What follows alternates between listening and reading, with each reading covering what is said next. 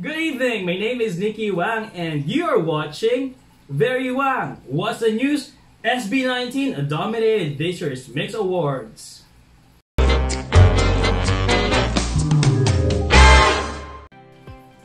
Magandang gabi! Balita muna tayo bago matulog. SB19 dominated the Mix Awards 2021.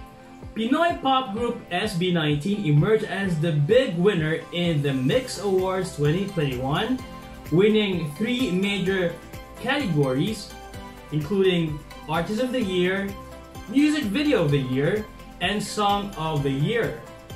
SB19, who also dominated last year's Music Awards, won Song of the Year for their hit single, Alab, which also won Music Video of the Year for the accompanying visual directed by Julian Gueco.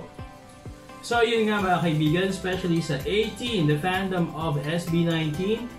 SB19, the P-Pop Kings dominated this year's MYX Awards. Parang kahapon lang, they were announced as the newest faces of Acer Philippines. Prior to that, they landed on a digital billboard on Times Square, New York. And of course, last week, they made history for becoming the artist to have the highest earning concert, a digital concert on KTX, which is ABS-CBN's digital platform. So again, A'TIN, congratulations for your support sa inyong idol na SB19 that dominated this year's award show. Yun lang at maraming salamat sa inyong panonood.